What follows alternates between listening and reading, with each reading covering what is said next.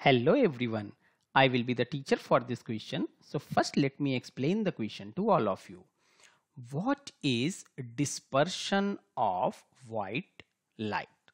तो इस क्वेश्चन में हमें एक नेचुरल फिनोमिना गिवन है लाइट का, और हमसे पूछा गया है कि उसे हम कैसे एक्सप्लेन कर सकते हैं तो इस क्वेश्चन को अच्छे से समझने के लिए हम लोग एक सिंपल डायग्राम क्रिएट कर लेते हैं ठीक है so this is the diagram चलिए अब देखते हैं क्या गिवन है। गिवन है हमें डिस्पर्शन ऑफ़ लाइट और वो लाइट कैसी है? ऑब्वियसली व्हाइट लाइट ठीक है? तो यहाँ पे हम लोग इस डायग्राम को थोड़ा सा कंप्लीट करते हैं। ए बी सी ये है क्या basically a glass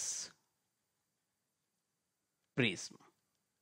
Fine और ग्लास प्रिज्म का नाम क्या है? ए बी सी यहाँ पे ये प्रिज्म एंगल है।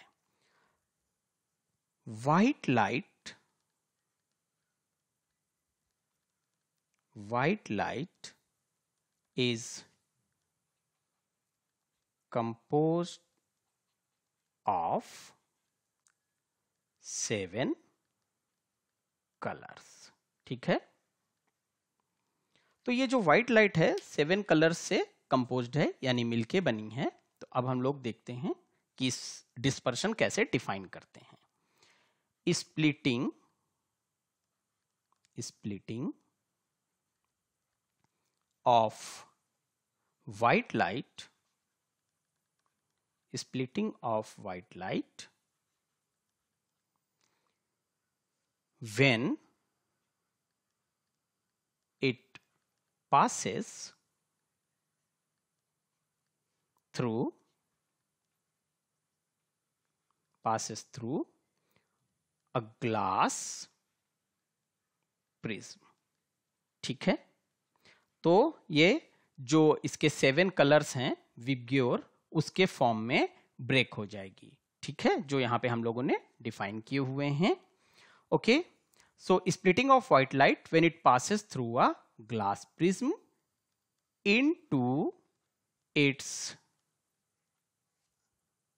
seven constituent constituent colors fine ये फिनोमेना जो है ये डिफाइन किया जाता है as dispersion fine this splitting. This splitting is defined as dispersion. Dispersion. Fine. एक बार इस डायग्राम को हम लोग और देख के समराइज कर लेते हैं। व्हाइट लाइट ये इंसिडेंट व्हाइट लाइट है। अंदर जाती है, यहाँ पे एक रिफ्रैक्शन होता है, फिर ये ब्रेक करती है, और फिर another refraction glass to air होता है और सेवन कलर्स यहाँ पे हमें बाहर मिलते हैं violet indigo green orange red and so on hope you understood the solution thank you